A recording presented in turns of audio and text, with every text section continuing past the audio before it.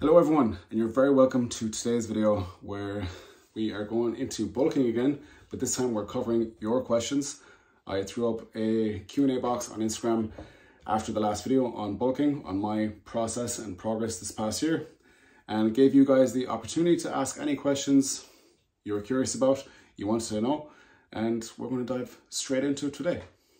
Today. So, first question. Did you track calories or did you take a more intuitive approach? Good question.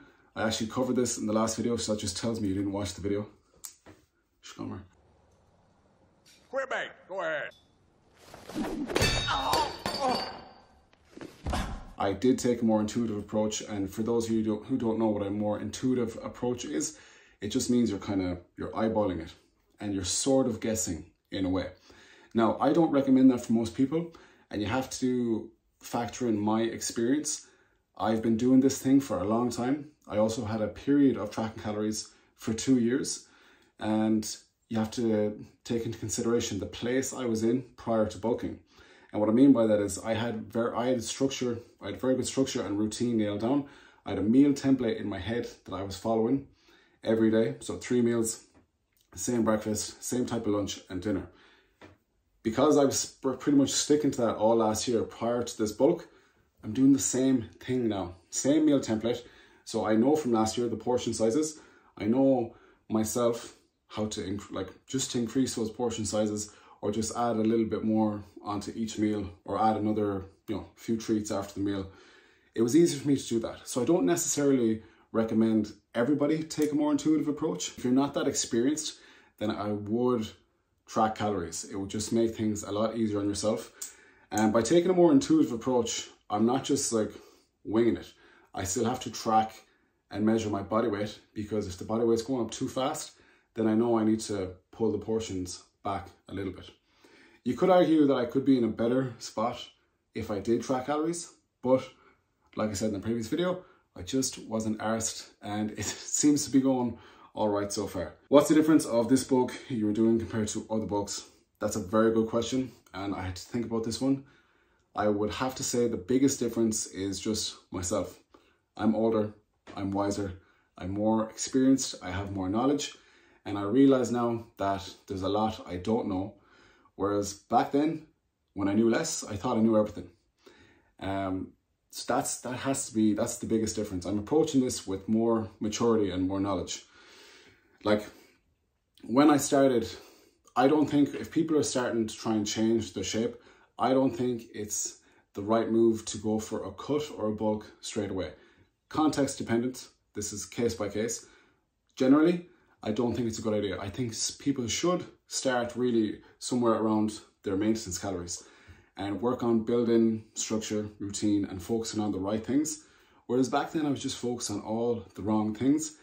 And that got me into some trouble because I would have bulked when I was younger, but to be honest, maybe I was disguising some disordered eating behaviors as bulking and justifying eating a lot of shit food.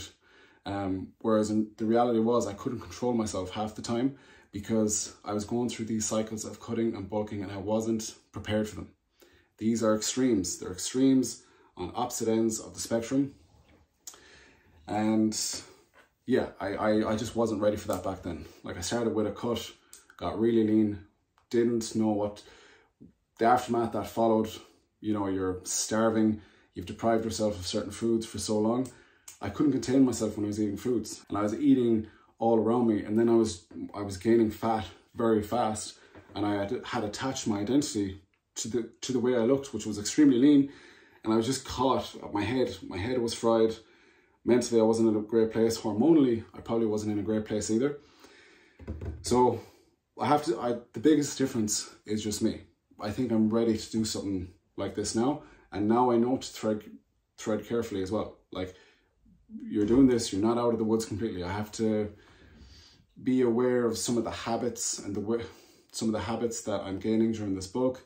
They might be hard to shake. I have to be aware of, you know, the the challenge of body dysmorphia, looking at myself now, being a little bit more pudgy these things you have to be you have to be ready for this stuff. And for example, like when I was younger, I would have thought that you just need to eat and eat whatever you want. And we know that's not the case now. We know that first and foremost, you need to you need to know what you're doing with training. You need to have you know what you're doing with your programming, exercise selection, good exercise technique, how to train in close proximity to failure because that is a skill a lot of people are lacking, and how to progress in your lifts. Like I thought, I would have thought I had an understanding on a lot of that stuff back then. I really didn't, and now, like I said, I do. Um, so I'm just focused on the right stuff now. Not perfect by any means, but a lot better. I don't think I, I'd be as good of a coach if I didn't go through these things and suffer and come out the other end. I hope that answers your question. That was a really good question. Question number three, how long of a bulk did you have planned for? Was there a particular body weight goal in mind? How long did I, initially at the start of the year, I said I was going to do this for six to nine months, which is a decent timeline. Um, if you're trying to make the bulk anyway sort of productive, you need to do it for a while because like 12 weeks, it's not like a fat loss phase where 12 weeks, someone can lose a lot of fat, but in 12 weeks, someone, you're not really going to build a lot of muscle. I had planned for six to nine months. I'm now past the nine month mark. I'm coming into month 10 of this year, even though I've been doing this like, yeah, I, I was, I started this really before Christmas, but like this year I'm on month 10 of this bulk and I'm going to go all the way until Christmas and then assess things at the start of next year. I'll assess the situation, how I'm looking, what I want to do. But I'm giving this time because it's invested. You're investing in it, you're getting stronger, you're building more muscle. So longer the better. As of now, we're going to go for the full year of doing this. Was there a particular body weight in mind? Nope. I you need to be careful with that because you can get you can almost get lost in chasing a, a certain body weight. Like I'm close to 100 kilos. And if I was really caught up on the number, then I could get to 100 kilos, but I might have just put on way more fat that, than what's necessary. So I had no goal weight in mind. I'm 98, 99 kilos. It will be cool to reach the 100 kilo mark. Like that, that's a great milestone for a natural lifter. Someone of my stature, like I'm 5'9". Um, so that'll be cool. That'll be a nice little milestone, but I want to hit it the right way. I don't want to rush it. Good question. Next question, question number on four. When you're training, do you train to failure on all your working sets or just the last one? Good question. I'm really liking the questions. So we need to first define what failure is and I need to correct myself on the last video. I sometimes start talking and I don't even realize what I'm saying. On the last video, I, I was saying we need to define what failure is and I said it's when you cannot complete another rep no, when you can't complete another rep, that's just, that's um, zero reps in the tank. Training to failure is when you can't complete that rep. I get lost in these tangents. I was watching that back over when I posted. I was like, oh, god damn it. But yeah, so training to failure is when you can't complete the rep you're trying to complete. I don't go to failure that often um, with compound movements, especially.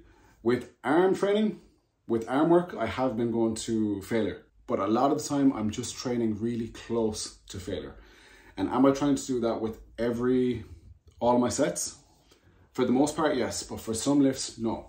Like for example, my bench press, training, training to feel, if I, I'm trying to like really get my strength up on the bench and I'm not really doing it for muscle growth. I'm trying to just get like really strong and lift stupid numbers.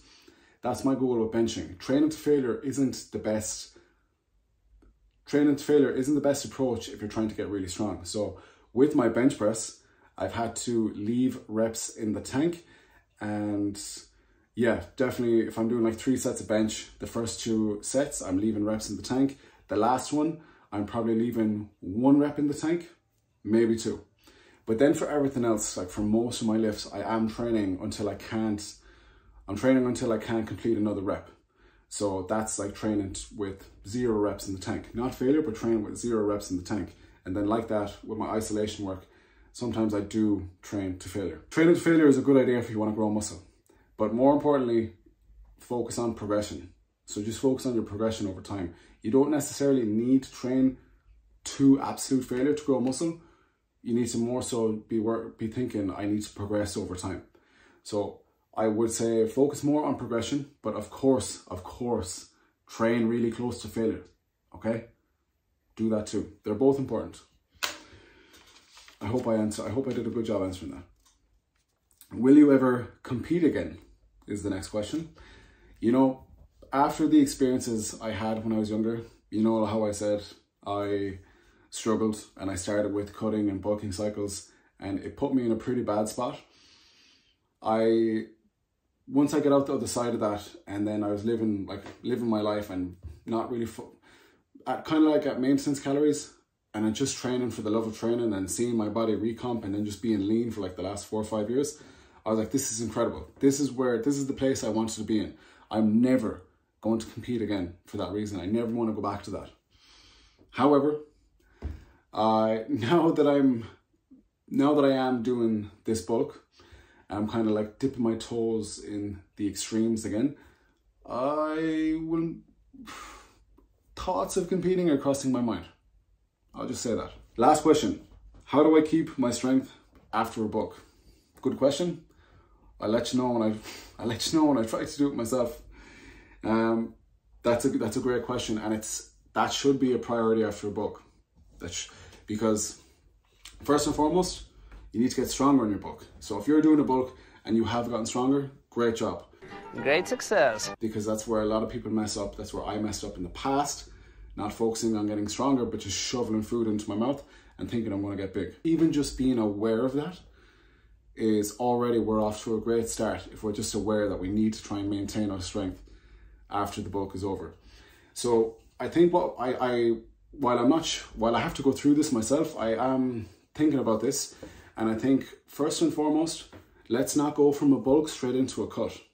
Let's maybe pull the calories back a tad and do like a maintenance period obviously if I pull the calories back a tad, I'm going to lose weight, but I'm probably going to maintain, you know, a higher weight. I'll probably lose a few kilograms and maintain, let's say somewhere around 94, 95 kilograms, maintain that weight and keep trying to progress on strength as well as maintain it, keep trying to progress it. And hopefully what happens is you lose a little bit of body fat and if you give it time, you might gain a little bit more muscle. So you might almost experience a body recomp. So let's say when I was bulking and I got to 94, I will be looking to compare 94 kilos when I was bulking to now 94 kilos post bulk, maintaining, and hopefully the photo after the bulk's over, that photo on the right looks better than the photo on the left. Something else I will consider that I've, I've only actually made this change in my routine now, and it was my brother Kyle who brought this to my attention. He said I need to time, he said I should time my carbs around my training a lot more to get the most out of it. And I wasn't really doing that this past year. I, I have my typical breakfast and I go train. I didn't even think to like have like more carbs before my training session. Some sessions I did, um, but to like make it like a fixed thing that you're having carbs before you train. I think I'm going to implement that now. And after the bulk is over and when I'm trying to maintain, I will keep I will keep that in. You know, I'll keep I'll give myself my best possible chance at being at trying to maintain my strength by having carbs before the session, being have a caffeine, be filled up with water, have a good sleep the night before. Just be ready to train hard. But I think it's just I think how we're going to keep our strength after our bulk is by first and foremost making that the priority and just keep trying to progress in the training and don't go straight into a crazy cut. Let's try and solidify our progress a little bit more and almost try and experience a body recomp. Whether that's right or wrong, that's how I'm thinking about this. If that changes, I will come on here and talk about it and give you the update on that. As far as questions go, that was it. Um, really good questions. I hope I answered all your questions and you are satisfied. Shorter video today, which is great because the last one was really long. It was half an hour, but I spoke for an hour. I spoke for one hour and it took me ages to edit that and cut it down. So it's nice that we had a shorter video today. Um, I want to say a massive thank you to everyone watching the videos. I really appreciate it. It's really nice to do long form content again and talk about things that I'm passionate about and hopefully I can give value through my own experience and what I know to you guys, and you can benefit from that. So it's been really cool doing that. The feedback has been really good, and hopefully, I will continue to deliver. Chat soon, train hard.